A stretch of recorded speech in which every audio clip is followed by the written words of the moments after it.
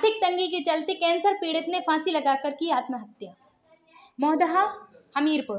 काफ़ी समय से गले के कैंसर का इलाज करा रहे गरीब किसान ने आर्थिक तंगी के चलते कुएँ की जगत में फांसी लगाकर आत्महत्या कर ली। सूचना पर पहुँची, थाना पुलिस ने मृतक के शव का पंचनामा भरकर पोस्टमार्टम के लिए भेज दिया और आगे की कार्यवाही शुरू कर दी। बेमार थाना क्षेत्र के ग्राम पटवारा, पाटनपुर निवासी नरेश प्रजापति, पुत्र स्वाश्री रमेश ने शनिवार की देर रात अपने घर के बाहर बने पुराने कुएँ की जगत की पट्टी में रस्सा से फंदा लगाकर फांसी लगा ली, जिससे उसकी मौत हो गई।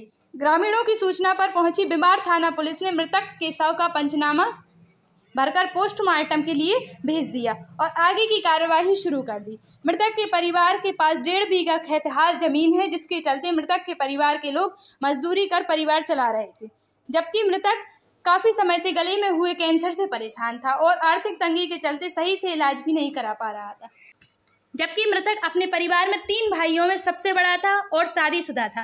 मृतक राम नरेश अपने पीछे पत्नी के साथ दस माह के दूध मोहे बच्चे को रोता बिखलाता छोड़ गया। इस संबंध में थाना प्रभारी बीमार ने बताया कि जानकारी हुई है पुलिस को भेजा गया। सौ का पंचनामा भरकर पोस्टमार्टम के लिए भेजा जा रहा है और आगे की कार्यवाही की जा रही है, जबकि आत्महत्या करने का कारण बीमारी और आर्थिक तंगी बताया जा रहा है।